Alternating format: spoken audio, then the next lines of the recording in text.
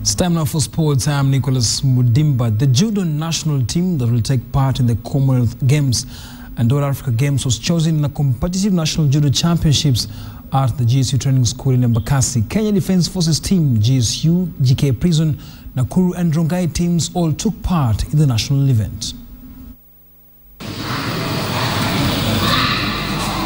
The Kenyan contingent to the Commonwealth Games was chosen in the National Judo Championships at the GSU Training School in Embakasi. The one-day event attracted four teams. The team comprising of both men and women went through a tedious selection process. A team that will represent the country also in the All Africa Games in Mozambique.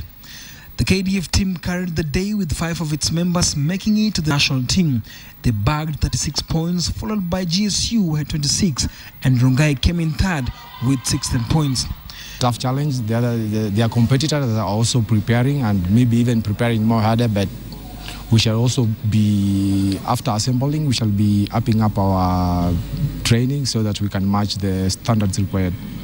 The training facilities has been a major problem for the team, but despite all the predicaments, the national team is willing to go to the end.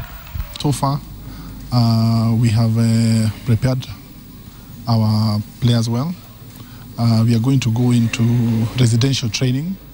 The team will go on a three-week camp. The coaching staff will hand over the team to the National Olympics Committee before leaving for Glasgow on 23rd of July 2014. The Africa Games will go down on 25th of June in Mozambique.